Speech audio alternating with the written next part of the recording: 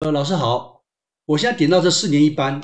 当我点四年一班的时候呢，右边就会告诉我这三个影片右边有多少人已经参加学习记录。这边有二十六个完成的部分，你看见吗？哦，那我点开来，当我点开来的时候，就可以看到所有学生学习记录。这里，这里点开来，那我再点一个进来哦。点进来以后呢，我就可以看到他的学习的这个状况在这里。哦，那开放性问答啦，这里。呃，这边有一个功能叫 reset 哦，叫它重答的意思啊。哦，在这里，来，我们再回上一页，我们再看一下，再回上一页，我再点这个比较多的，看一下哈，这个。好，四年一班这个这个巨嘴鸟这个，这学生的测验在这里，哦，四十分钟前，那我这边把它展开来，这里，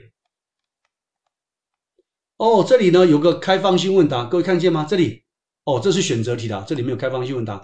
如果是开放性问答，这边呢，我可以看着他的答案，然后这边可以打自己的分数。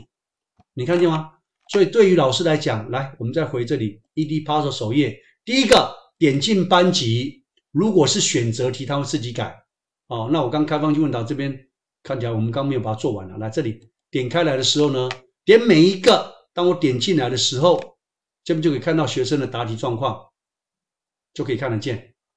哦，重新整理一下，这里，这里可以看见，在这里下面这位写哦，哦，这里来看一下，这个没有回答，所以没答到这边，我也没办法给给答案。你看呢，这里呢就有开放性的问题，如果是学生答了，你可以根据他的答案这边可以打分数。那打完分数呢，哦，这边自动做统计。那因为没有答题了，所以这边影片开了百分之二十，啊，做过一次两个问题哦，都在这里，都在这里。